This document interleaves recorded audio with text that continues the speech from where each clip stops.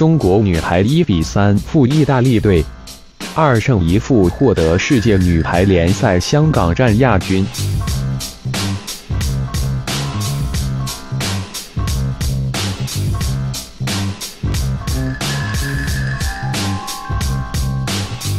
北京时间五月三十日，二零一八年世界女排国家联赛香港站进行了第三轮比赛。中国女排以一至三、十八至二十五、十四至二十五、二十五比十六、十八比二十五，负于意大利队，以二胜一负积六分获得亚军。意大利队二胜一负积七分夺得冠军。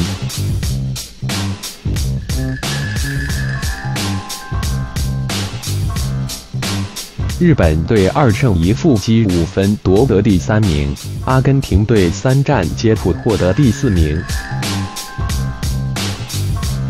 中国队的首发阵容为：主攻朱婷、段放，副攻闫妮、王媛媛，二传丁霞，接应龚翔宇，自由人王梦洁。意大利队派上埃格努、塞拉、马米诺夫等人出战。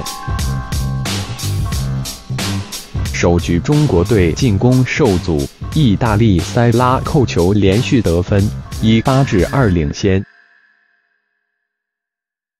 中国队顽强的追成十一至十四，意大利队的强攻和背飞连续打中，以二十比十二拉开比分。中国队换上李盈莹，她上场后进攻有所起色，中国队追成十七至二十二。此后，王梦洁一传失误，塞拉强攻得分，意大利二十五比十八先胜一局。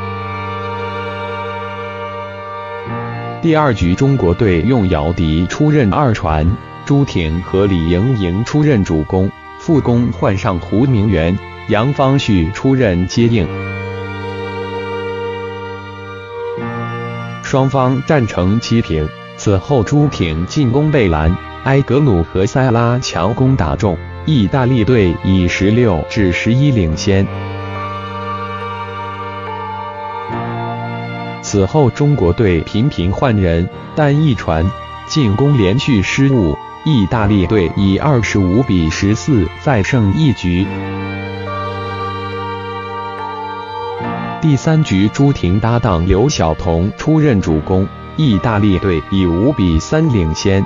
杨方旭连续进攻得分，以九至六反超。此后朱婷反击得分，中国队以十一至六领先。